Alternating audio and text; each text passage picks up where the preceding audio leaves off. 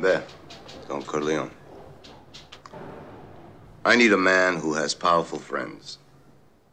I need a million dollars in cash. I need, Don Corleone, those politicians that you carry in your pocket. Like so many nickels and dimes.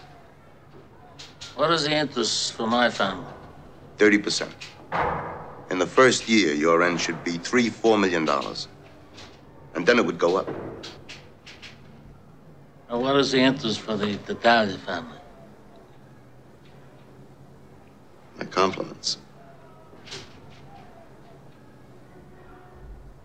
I'll take care of the Tattaglias. Out of my share. So I receive 30% for finance, political influence, and legal protection. That's what you're telling me. That's right. Why do you come to me? Why do I deserve this generosity? If you consider a million dollars in cash, just finance. To salud, Don Corleone.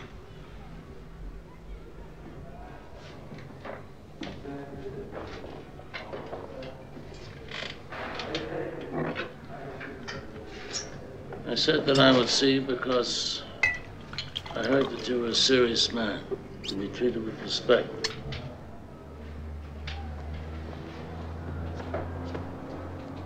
But uh, I must say no to you. And I'll give you my reasons. It's true, I have a lot of friends in politics.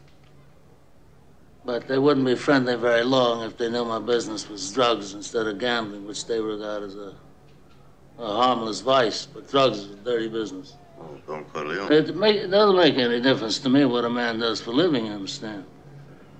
But uh, your business is uh, a little dangerous. If you're worried about security for your million, the Tattaglias will guarantee it. Oh, are you telling me that the Tattaglias guarantee our Wait a investment? minute.